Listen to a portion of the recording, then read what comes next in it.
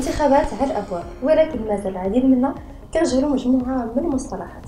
غادي نحاولوا من خلال هذا البرنامج نفهموا ونشرحوا ونبسطوا هذه المصطلحات. المصطلح ديالنا هذا النهار هو القاسم الانتخابي ولكن قبل ما نبداو أجي نشوفوا المغاربه شنو عارفين على هذا المصطلح. شنو كتعرف القاسم الانتخابي؟ القاسم الانتخابي؟ ما عمري ما سمعتها. فرانشمون ما عمري ما سمعتها كنعرف الانتخابات قيدنا في الانتخابات قيدت ولاتي كلشي كنعرف الانتخابات ولكن هذه الكلمة القاسم الانتخابي ما ما عنديش علم. شنو كتعرف على القاسم الانتخابي؟ أنا ما كنعرف عليه حتى حاجة ما لا. ما عندك فكرة عليه؟ لا. ما عنديش شي معلومة على القسم الانتخابي. الساعة لا والو ما. ما كنعرف حتى شي حاجة ما عندي حتى شي فكرة أختي عليه. عمرك سمعتي عليه؟ لا ما عمري سمعت عليه. صراحة إذا كان شي توضيح مرحبا. كيف ما رحنا مجموعة من الناس مازال ما كيعرفوش شنو هو القاسم الانتخابي. اجيو نفهموه أكثر. القاسم الانتخابي أو الحاصل الانتخابي هو المعدل على الأساس ديالو كيتحسب توزيع المقاعد.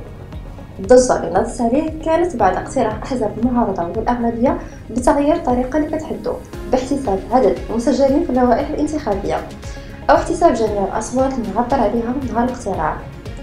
حزب العدالة والتنمية احتج وطالب بالإبقاء على الطريقة المعمول بها.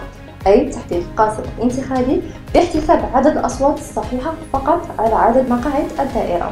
كيف ما سبق وشرنا في المغرب كيعتمد نمط اقتراع اللي كيعتمد على اللائحة النسبية مع احتساب أكبر بقية. والهدف من القاسم الانتخابي على أساس المسجلين هو تقليص إمكانية حصول حزب معين على جوج ديال المقاعد في نفس الدائرة الانتخابية.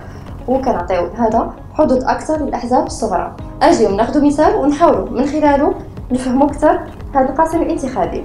مثلا عدد المسجلين هو 40 ألف والأصوات المعبر عليها بشكل صحيح هو 20 ألف وعدد المقاعد المتنافس عليها أربع مقاعد.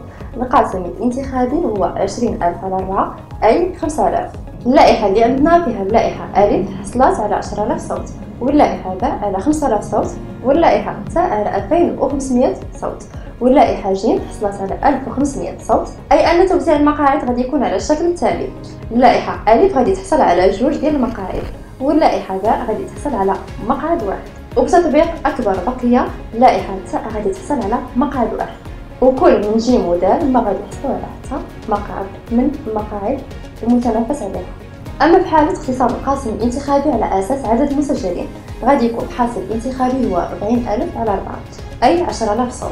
النتائج غادي يتبدلوا غادي يكونوا كالتالي اللائحة ألف غادي تحصل على مقعد واحد واللوائح باء وتاء وجيم غتحصل على مقعد واحد لكل لائحة واخا ما بلغاتش القاسم الانتخابي. الحلقة ديالنا هاد النهار سهلة نتمنى تكونوا فهمتوا أكثر في القاسم الانتخابي. وغادي نتلاقاو في حلقة جديدة ومع مصطلح جديد. إلا عجبكم الفيديو ما تنساوش ديروا جيم وتشتركوا في القناة وتفعلوا الجرس باش يوصلكم كل جديد.